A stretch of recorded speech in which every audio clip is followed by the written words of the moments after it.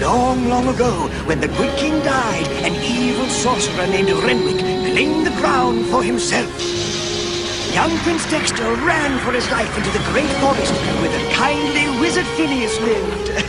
That's me.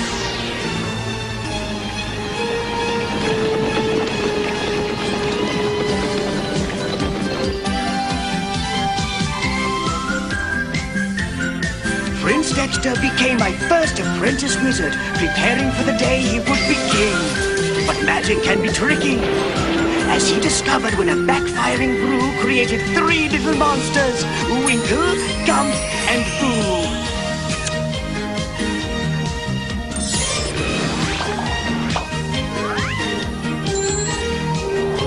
Three magic monsters and a young prince. I call them